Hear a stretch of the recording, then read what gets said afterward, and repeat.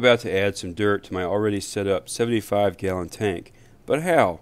Well, it's easier than it sounds. First, I mix up some organic potting soil with clay and old sand and, and normally use Osmocote fertilizer, but this time I'm trying out an organic based fertilizer.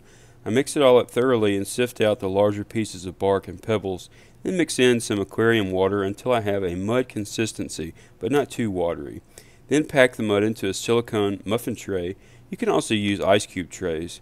I wrap the tray in aluminum foil and place it in the freezer.